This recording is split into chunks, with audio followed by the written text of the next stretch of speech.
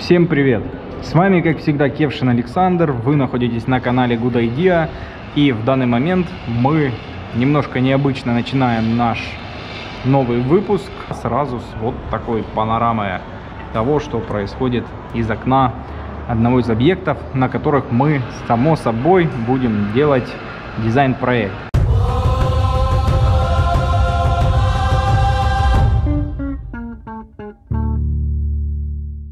Так вот, находимся мы с вами в ЖК Теремки, что на улице Заболотного 15.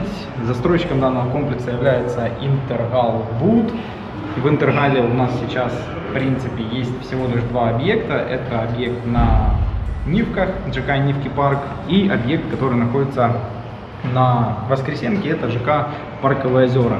Вы можете найти немножечко видео, посмотреть их можно здесь и здесь.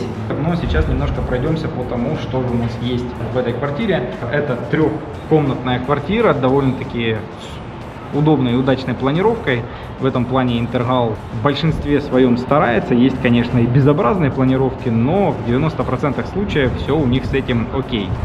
Вид из окна открывается на очередную очередь данного ЖК. Всего в этом комплексе будет находиться 5 домов. Некоторые из них односекционные, некоторые многосекционные, по-моему, там 4-5 секций.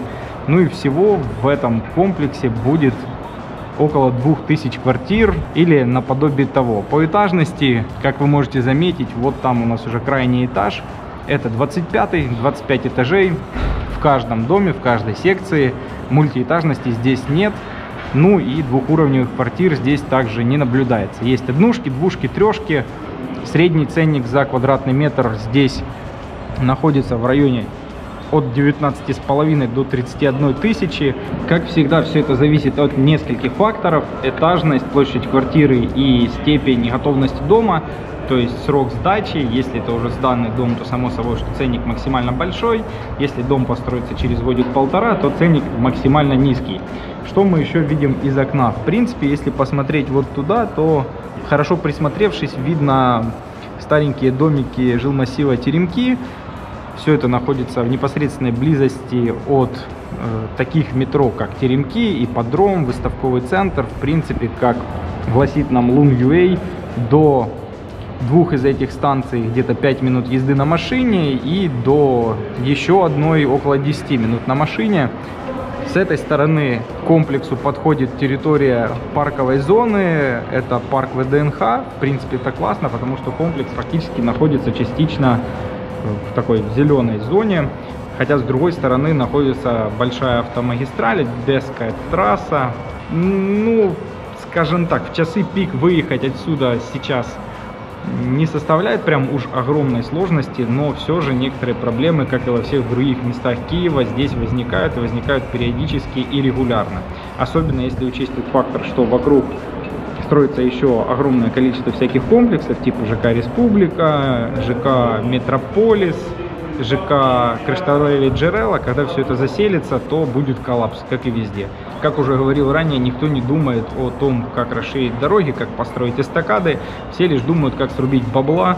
В общем, главное, чтобы те дома, которые застройщики гонят, они догоняли до своего логического завершения. По технологии строительства, как вы можете увидеть на видео, у нас есть монолитный каркас и заполнение стен газобетоном и кирпичом. В принципе, все внутренние перегородки в данном комплексе выполнены из газобетона. Сейчас мы пойдем с вами по квартире и постараюсь вам показать это воочию. Также есть некоторые перегородки, которые делаются из кирпича. Это вот такие выносные балконы, как вы видите за окном. Ну и это стены санузлов, мокрых зон, которые также выполнены из кирпича, и перегородки там являются самонесущими. Кстати, что здесь строится внизу, не нашел никакой информации. Постараюсь спросить у заказчиков, может быть, они дадут какой-то ответ. Кстати, пока смотрим из окошка, из приятного, здесь думают о внешнем виде фасадов и как и в других комплексах от данного застройщика, здесь установлены вот такие корзины под кондиционеры. Ну и еще одна деталь, которую я в принципе никогда не освещал в своих обзорах, это состояние окон снаружи. Немаловажным фактором является то, при приемке квартиры, а сейчас мы как раз помогаем заказчикам с этим делом, как выглядят ваши окна снаружи, потому что сейчас очень хорошо видно на видео, что окна просто засраты, поцарапаны и так далее. Еще во многом застройщик не снимает вот такую вот пленочку, вот такую вот защитную, а вот, вот наружная часть окна, если ее не снять с окна вовремя, то потом вам придется потратить лишние деньги на клининг или лишний день на то, чтобы просто отодрать вот это все со, своей оконной рамы ввиду того, что на солнце эта пленка просто жесточайше влипает в профиль и с ней очень сложно бороться. Так вот, обращайте внимание на вот эту проблему, на которую почти никто никогда не обращает внимания. И в конечном итоге приходится сталкиваться с заменой оконного профиля, либо заказчики начинают прямо скажу, наезжать на нас о том, что что-то не так с окнами, поцарапанные стеклопакеты, либо еще что-то. Хотя мы этого не делали и не делаем. Нужно на это обращать внимание изначально. Вот, вот такого быть не должно. Если у вас при сдаче квартиры приблизительно такая картина, еще раз покажу в одну сторону, в другую, то обязательно обратитесь к застройщику для того, чтобы застройщик все это ликвидировал вместе с вот этими замечательными наклейками на раме с наружной стороны. Вот такая вот рекомендация. Ну а сейчас пойдем по квартире и посмотрим на состояние дел непосредственно внутри что же преподнес нам застройщик на данном объекте. Еще раз напомнюсь, это ЖК Теремки от Интергал Буд.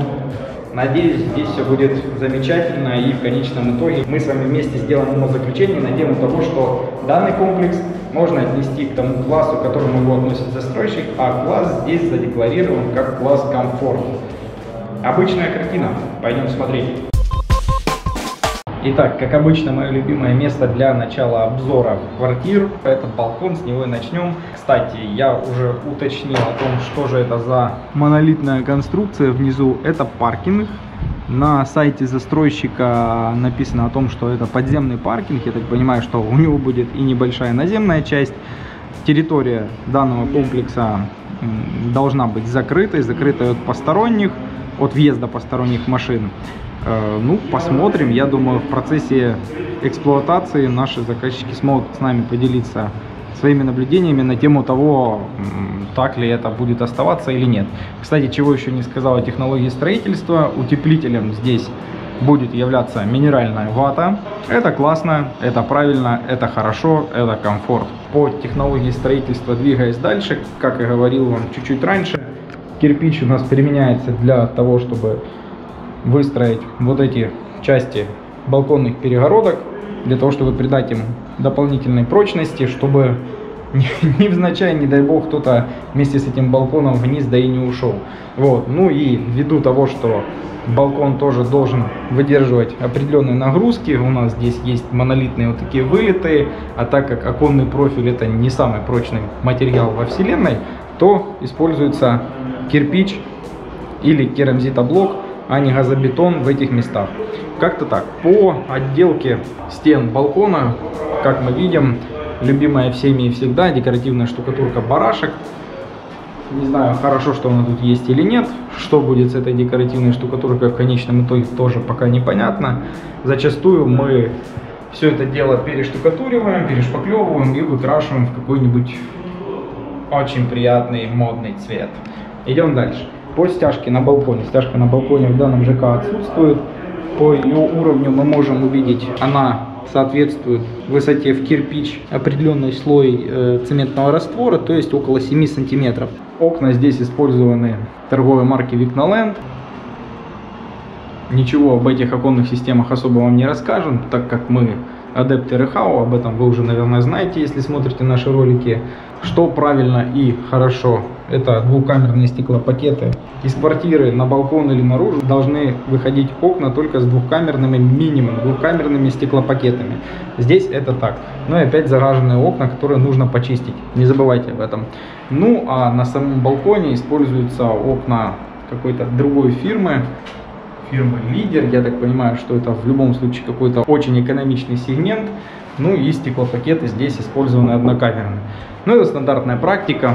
Зачем тратить деньги и платить больше, если можно и так. Но если вы задумаете присоединить вот эту часть как жилую к вот этой зоне, то вот это все добро нужно снимать, выносить, сносить и ставить нормальные окна с нормальными стеклопакетами. Идем дальше. Первое помещение, в которое мы попадаем с вами с балкона, это кухня. Что у нас здесь есть, чего нет, как это все выглядит. Стандартный прием и стандартный вариант, как для любого вида жилья. Эконом, комфорт, либо даже бизнес-класс. Это металлические радиаторы.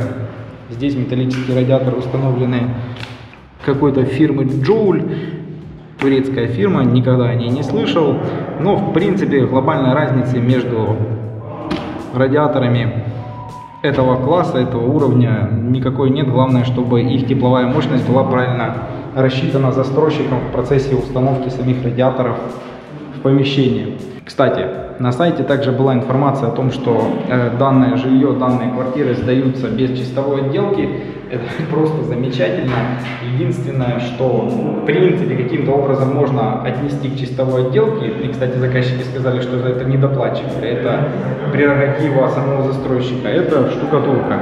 Но, насколько я вижу, здесь все очень криво, и в принципе, эта штукатурка, что есть, что нет, в любом случае все это дело нужно перештукатуривать для того, чтобы выводить как плоскостя, так и уровень стен. Но могу отметить, что это поможет сэкономить в какой-то степени на материале, поскольку расход штукатурной смеси будет несколько меньше. Не знаю, насколько камера передает кривизну откосов, но все, скажем так, далеко не актив. Относительно компенсационных швов также вам особо ничего не скажу, поскольку штукатурка подходит почти под потолок. Есть там какой-то компенсирующий элемент или нет, все это у нас заделано таким вот образом раствором и покрыто тайной и мраком. Здесь мы видим вентиляционное отверстие, подвод труб и трубы, насколько мы успели заметить и отметить, как и в большинстве случаев строит Интергалбуд, трубы производителя ТЦ или TC, разные люди называют их по-разному. Ну, ничего плохого о них не скажу. Стандартный прием и очень хорошо, что здесь используется шитый полиэтилен, а не PPR, то есть не ПВХ трубы, так называемая пайка. Движемся дальше, смотрим на то, как обстоят дела по стяжке. Демпферка здесь есть, некоторые компенсационные разрывы также имеют место быть. Хотя вот здесь вместе того такие разрыва у нас и происходит растрескивание. Если присмотреться к стяжке, то мы можем увидеть, что трещин здесь на самом деле не такое уж маленькое количество. Вот еще одна трещина. Здесь просто неаккуратно залитая стяжка. Здесь не до конца правильно сделанный технологический разрыв. Движемся дальше. Приходится немножко ползком передвигаться по коридору. Вот еще одна большая трещина которая идет до компенсационных швов. Просто они сделаны неправильно. И еще одно наблюдение, которое можно, скажем так, озвучить, это то, что выдает цвет стяжки. Сразу заметно о том, что на ней немножко решили сэкономить в процессе заливки и использовать немножко не тот песок, который нужно. Песок с большим содержанием глины. От этого стяжка немножко желтит и ввиду этого произошло определенное пересыхание раствора, ввиду чего и образовались все эти трещины. Страшно это или нет, можно будет увидеть со временем. Но, опять же таки, как говорит прораб от застройщика, швы эти, точнее, все эти трещины образовались уже очень давно, дальше они никуда не расходятся. Будем верить на слово. По состоянию дел по стяжке, в принципе, можете видеть сами. Идеально я ее не назову. Все здесь хорошо, кроме вот этого момента. И, как и всегда, стараясь быть объективным, скажу, что в стяжке я могу поставить, в принципе, жирный минус на данный момент, в отличие от всего остального. Все остальное вроде как выполнено аккуратненько. Хотелось бы, конечно, посмотреть еще и на состояние стен, но, как я уже сказал, стены здесь отделаны штукатуркой, поэтому ничего вам о них не скажу. Может быть, будет возможность попасть данного рода квартиру, когда еще нет вот этой чистовой отделки, тогда поговорим более детально, но пока картина все та же. Очень видно четкую грань между тем местом, где стена была возведена из монолита и где стена была возведена из газобетона. Люба делает замеры, сейчас уже делает фоточки, скоро будем освобождать помещение. Мы со своей миссией справились, не будем задерживать ни заказчика, ни человека, который предоставил нам доступ к квартире. Ну а здесь самая эпическая картина по стяжке. Застройщик отремонтировал все это вот таким вот путем.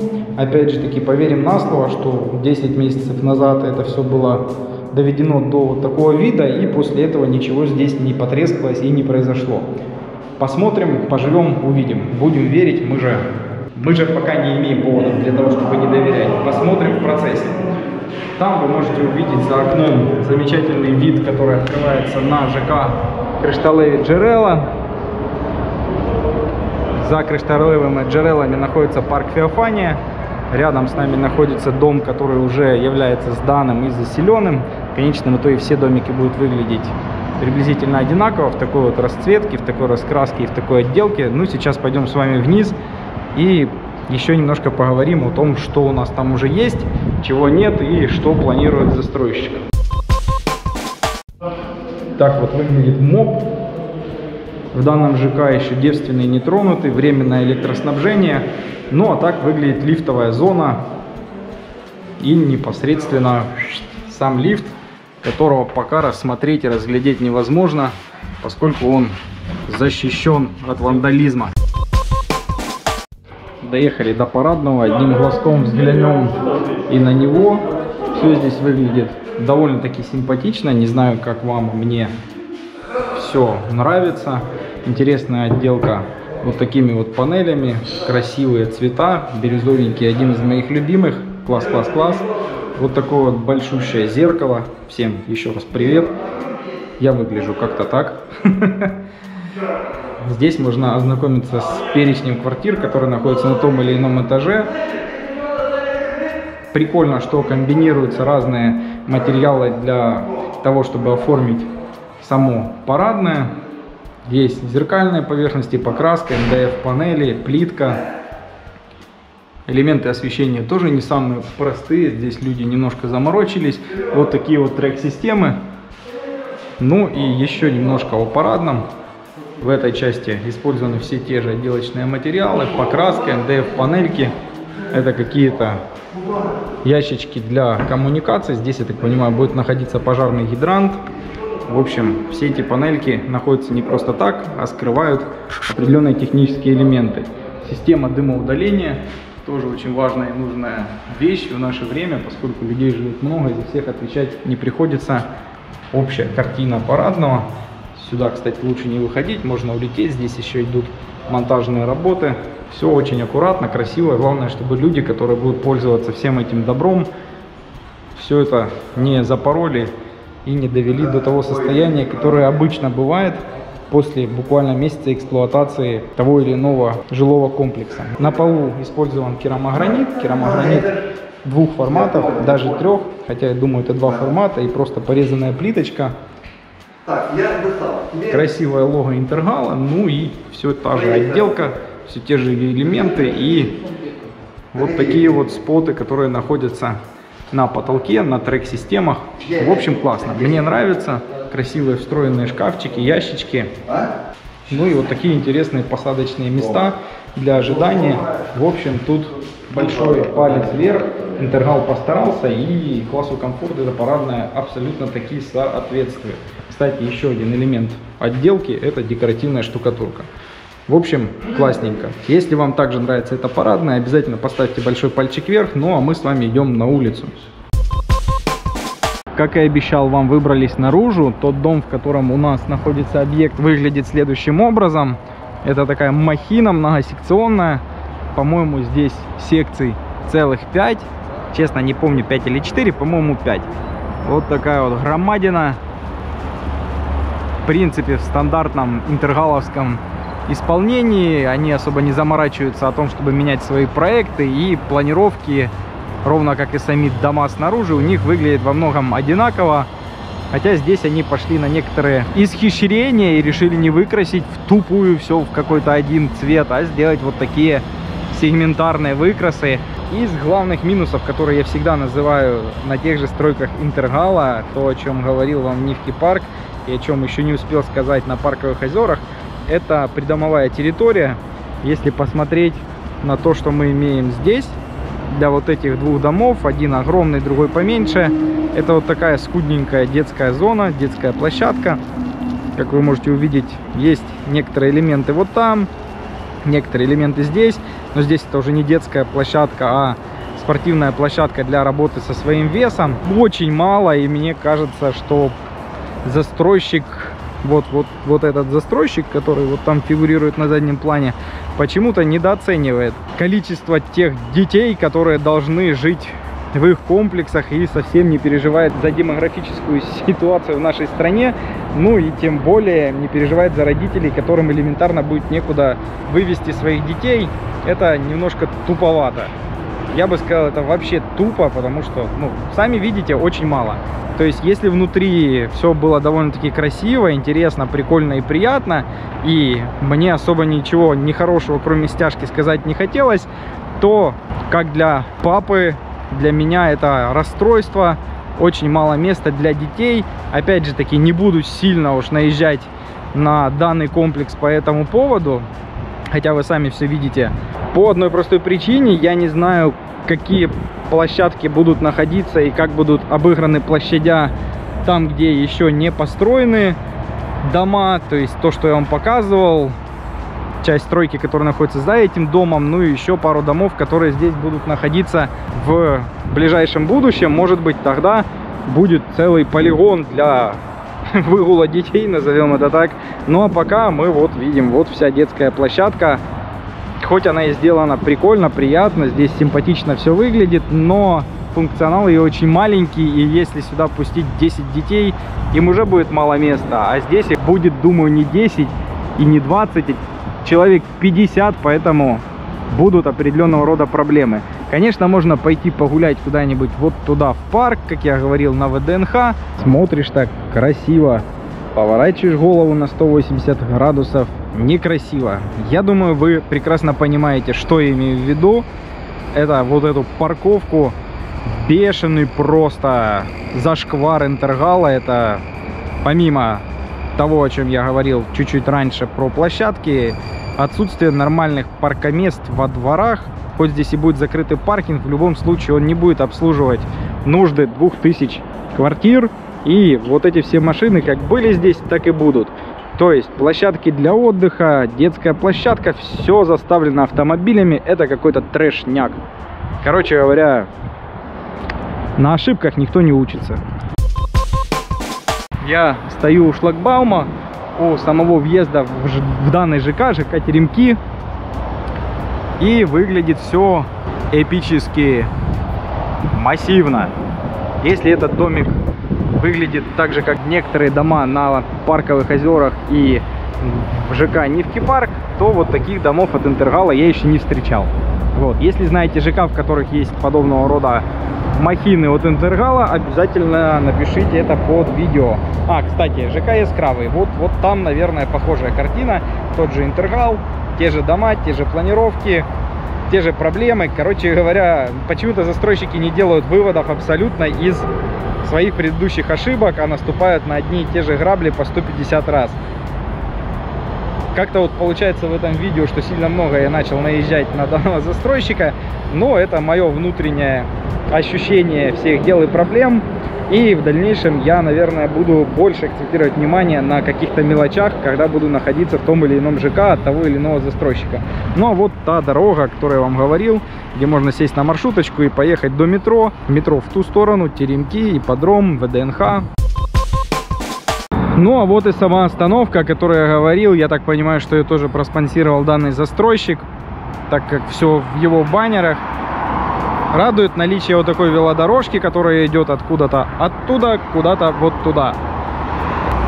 Еще одна маленькая штука и деталь, которая меня озадачила в данном комплексе, это наличие какого-то вот такого админ здания, которое находится прямо во дворе и портит прям весь вид, который только может быть в данном комплексе, хотя он и так не особо-то супер красивый. Но вот это здесь явно лишнее. Почему застройщик не договорился, непонятно. Хотя, может, и договорился, я чего-то не знаю. И в дальнейшем это здание модифицируют, и оно будет под стать всему комплексу такое красивое, в тех же цветах, и там будут находиться какие-то магазины и что-то подобное. Пока территория вокруг довольно-таки в плохом состоянии, поскольку ведутся работы, это и неудивительно. Когда все закончится, я думаю, все это дело приведут в порядок, будет красиво, вот такая брусчаточка. В общем, с этим, думаю, проблем не возникнет. Здесь рядом находится клуб верховой езды. Также где-то неподалеку находится Дюсыша, в которую можно отвезти своих детей для того, чтобы им было чем позаниматься. Ну и видно стройку, которую мы с вами видели из окон данного комплекса, с нашего объекта, с другой стороны. Краны работают, дома растут. В общем, все как всегда, все чудесно и замечательно. Продолжаем экскурсию по комплексу. Ну и еще раз насладимся чуть-чуть его грандиозными размерами и панорамкой вот этих домов.